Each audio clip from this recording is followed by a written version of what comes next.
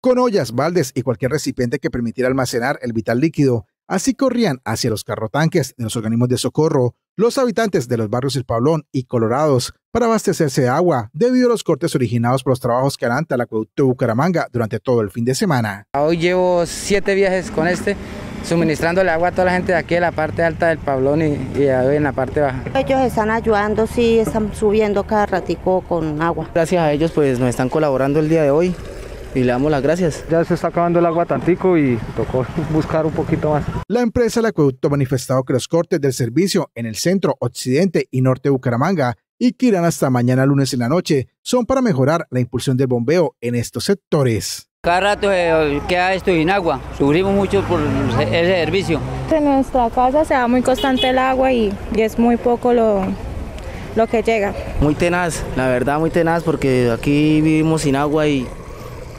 eso para uno asearse y para uno cocinar no, no abasto. Estamos acá en escasez de agua para todo, para el baño, para los animales, para todo. Se espera que con los trabajos mejore el suministro de agua para esta población del norte de Bucaramanga, que en repetidas ocasiones ha manifestado su inconformidad por la falta del vital líquido.